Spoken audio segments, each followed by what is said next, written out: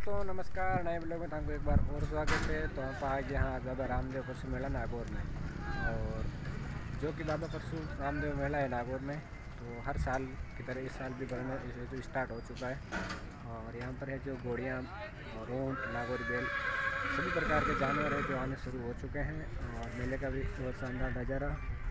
आप देख सकते हो, घोड़ियाँ हैं जो इस प्रकार से लाइन से लगी हुई हैं और इनके ग्राहक है जो आ रहे हैं। और देख रहे हैं और से जो चालू हो चुकी है नागौर के अंदर। चलिए आपको दिखाते हैं और भी परसों मेले के नज़ारे बने रहना हमारे ब्लॉग में। नेक्स्ट जब भी ब्लॉग आएगा तो आपको बता दें ठीक है धन्यवाद।